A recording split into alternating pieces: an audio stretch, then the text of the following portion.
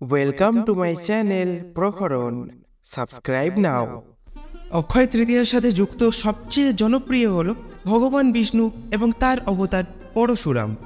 এই দিনে ভগবান বিষ্ণু পরশুরাম রূপে পৃথিবীতে আবির্ভূত হন। এটিও বিশ্বাস করা হয় যে এই দিনে ভগবান গণেশ ঋষি ব্যাসের নির্দেশ অনুসারে মহাকাব্য মহাভারত রচনা শুরু করেছিলেন। আরেকটি জনপ্রিয় বিশ্বাস হল যে গঙ্গা নদী যা হিন্দু ধর্মে পবিত্র বলে বিবেচিত হয়। অক্ষয় তৃতীয়াতে স্বর্গ থেকে পৃথিবীতে নেমে এসেছিল। বিশ্বাস অনুযায়ী এছাড়াও অনেক মতামত আছে, যেগুলো এই ভিডিওতে বলতে চলেছি এবং এছাড়াও কোন কোন বিষয়ে আলোচনা করতে চলেছি, তার পুরো লিস্ট এখানে দেখিয়ে দিচ্ছি। আজকের ভিডিওতে থাকছে এতগুলো শুভযোগ মাহাত্ম উপবাসের নিয়ম, কৃষ্ণ সুদামা পুনর্মিলন, ত্রেতা যুগের সূচনা অক্ষয় তৃতীয়ায় স্বর্ণ কেনার জন্য একটি সৌভাগ্যজনক উপলক্ষ, বৃক্ষরোপণ, উপবাস, পূজা। অক্ষয় তৃতীয়ায় যে সকল আচার অনুষ্ঠান করা হবে, শুভ দিন, জন্মদিন, শাশ্বত সম্পদের দিন, জ্ঞানের দিন, বিবাহের দিন পুনর্ন বিকরণের দিন, উর্বরতার দিন, আলোকিত হওয়ার দিন, ভক্তির দিন। প্রথম পয়েন্ট মাহাত্ম মহাভারতে যখন পাণ্ডবরা নির্বাসনে বাস করছিলেন তখন অক্ষয় তৃতীয়ার শুভ দিনে ভগবান সূর্য তাদের একটি বিশেষ পাত্র উপহার দিয়েছিলেন। এই ঐশ্বরিক পাত্রটিকে অক্ষয় অক্ষয়পত্র বা অক্ষয় পাত্র বলা হতো, কারণ এটি খাদ্যের অবিরাম সরবরাহ প্রদান করে। তাদের নির্বাসনের সময় একজন ঋষি পাণ্ডবদের সাথে দেখা করেছিলেন, কিন্তু দ্রৌপদীর কাছে তাকে দেওয়ার মতো কোনো খাবারই ছিল না। তিনি অসহায় বোধ করলেন এবং ভগবান কৃষ্ণকে একটি খালি বাটি দেখালেন, যাতে আগে ভাত ছিল। কৃষ্ণ পাত্রে আটকে থাকা একটি দানা দেখতে পেলেন এবং তাকে সম্পূর্ণ তৃপ্ত বোধ করলেন। কৃষ্ণের এই কাজটি সমস্ত প্রাণী এবং বিশ্বকে তৃপ্ত করেছিল। আরও উল্লেখ আছে যে অক্ষয় তৃতীয়া তিথিতেই যুধিষ্ঠিরকে অক্ষয় পাত্র দান করেছিলেন শ্রীকৃষ্ণ। এই অক্ষয় পাত্রের খাবার কখনো ফুরোয় না। এই পাত্র থেকে দরিদ্র মানুষদের খাবার বিতরণ করতেন যুধিষ্ঠির। সেই কারণে অক্ষয় তৃতীয়ায় দান করলে শুভ ফলাফল লাভ করা সম্ভব হয়। যে পাত্রটি এই অলৌকিক খাবার সরবরাহ করেছিল, তা অক্ষয় পাত্র নামে পরিচিত হয়েছিল এবং দিনটির নাম ছিল অক্ষয় তৃতীয়া। অক্ষয় তৃতীয়া স্বর্ণ কেনার জন্য একটি সৌভাগ্যজনক উপলক্ষ। অক্ষয় তৃতীয়া একটি খুব শুভ দিন বলে মনে করা হয়, বিশেষ করে সোনা কেনার জন্য।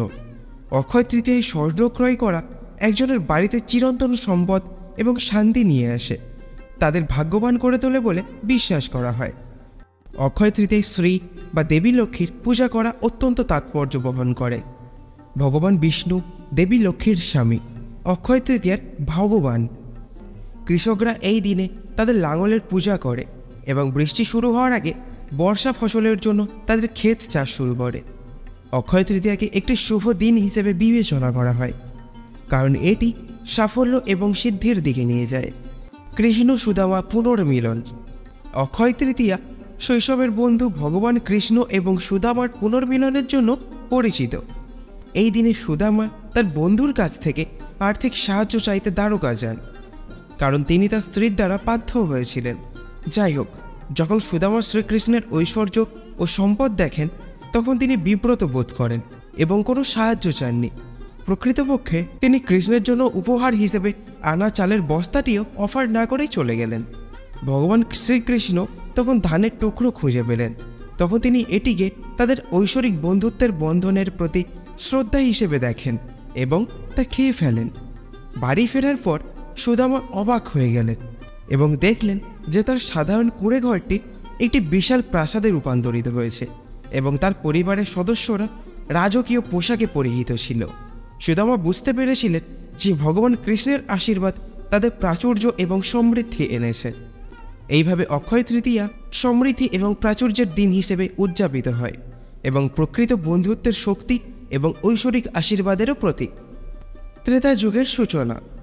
শাস্ত্র অনুসারে দেবী দুর্গা এবং মহিষাসুরের মধ্যে একটি ভয়ঙ্কর যুদ্ধ হয়েছিল, যার ফলে শেষ পর্যন্ত দেবীর হাতে অসুরের মৃত্যু হয়েছিল। পবিত্র পুরাণগুলি আরও বলে যে এই দিনটি সত্যযুগের সমাপ্তি এবং ত্রেতা যুগের সূচনা করেছে, যা চারটি যুগের দ্বিতীয়। সেই থেকে অক্ষয় তৃতীয়া একটি নতুন যুগের সূচনা হিসেবে উদযাপিত হচ্ছে। একটি নতুন সূচনা এবং জীবনের একটি নতুন অধ্যায়ের সূচনার প্রতীক। পূজা।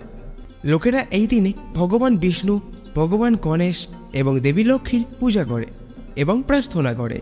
তারা মন্দির পরিদর্শন করে এবং দেবতাদের ফুল মিষ্টি এবং ফল প্রদান করে। উপবাস। সর্বশক্তিমানের আশীর্বাদ পেতে অনেকেই এই দিনে উপবাস পালন করেন। কিছু লোক একটি সম্পূর্ণ উপবাস পালন করে। অন্যরা দিনে মাত্র একটি খাবার খায়। বৃক্ষরোপণ।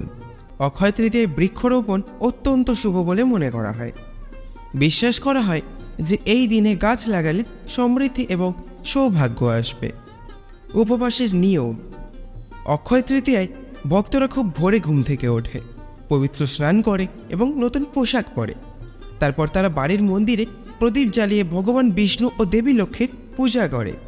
বিশ্বাস করা হয় যে এই দিনে এই দেবতাদের পূজা করলে ধন সমৃদ্ধি এবং সুখ আসে। অক্ষয় তৃতীয়ায় দান বা দাতব্য কাজ করার প্রথাও রয়েছে। অভাবিকা দান করা এবং দরিদ্রদের খাওয়ানো একটি পুণ্যের কাজ বলে মনে করা হয়, যা দাতার সমৃদ্ধিকে বহুগুণ করে। অক্ষয় তৃতীয়ার শুভেচ্ছা। অক্ষয় তৃতীয়ায় যে সকল আচার অনুষ্ঠান করা হবে, প্রার্থনা এবং পূজা করে ভগবান বিষ্ণু এবং দেবী লক্ষ্মীর কাছ থেকে আশীর্বাদ প্রার্থনা করুন। ঐশ্বরিক আশীর্বাদ পেতে যাদের প্রয়োজন, তাদের খাদ্য, বস্তু এবং অন্যান্য প্রয়োজনীয় জিনিস দান করুন। পবিত্র নদীতে ডুব দিন এবং নিজেকে পাপ থেকে পরিষ্কার করতে এবং আধ্যাত্মিক গুণাবলী অর্জন করতে পূজা করুন। এই দিনে নতুন উদ্যোগ, বিনিয়োগ এবং কেনাকাটা শুরু করুন। কারণ এটি বৃদ্ধি এবং সাফল্যের জন্য একটি আদর্শ সময় বলে মনে করা হয়। শুভ দিন।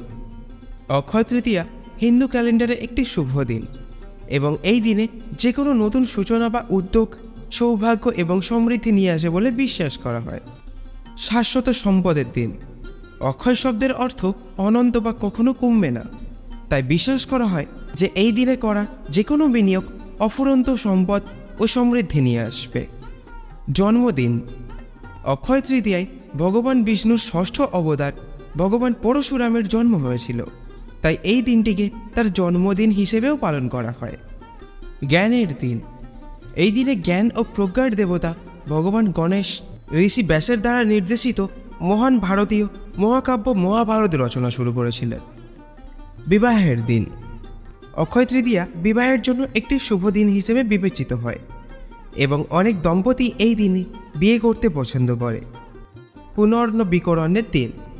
অক্ষয় তৃতীয়া বসন্ত ঋতুর সূচনা করে এবং এইভাবে নবায়ন ও পুনর্জীবনের দিন হিসেবে বিবেচিত হয়। উর্বরতার দিন। কৃষকরা তাদের হাতিয়ারের পূজা করে এবং এই দিনে তাদের ক্ষেত চাষ শুরু করে। বর্ষা মৌসুমের শুরু এবং ফসল রোপণের চিহ্নিত করে। আলোকিত হওয়ার দিন। এটা বিশ্বাস করা হয় যে ভগবান শ্রীকৃষ্ণ এই দিনে অর্জুনকে তার ভগবদ্গীতার শিক্ষা প্রদান করেছিলেন। ভক্তির দিন। অনেক ভক্ত এই দিনে উপবাস করেন এবং ভগবান বিষ্ণু এবং দেবী লক্ষ্মীর উপাসনা করেন সম্পদ, সমৃদ্ধি এবং সুখের জন্য তাদের আশীর্বাদ চান। তো সম্পূর্ণ ভিডিওটা দেখার জন্য আপনাদেরকে জানাই অনেক অনেক ধন্যবাদ। দেখা হচ্ছে আগামীকাল। ততক্ষণ পর্যন্ত ভালো থাকুন, সুস্থ থাকুন।